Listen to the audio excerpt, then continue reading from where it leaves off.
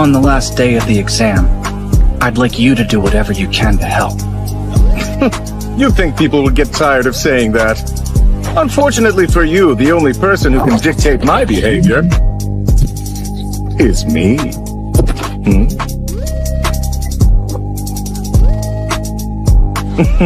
I see now. And what exactly do you see? The person who tamed Dragon Boy and made him retreat with his tail between his legs. I think there's been some confusion. I'm not the one in trouble here. What? There are only four of you. You'll need more than that.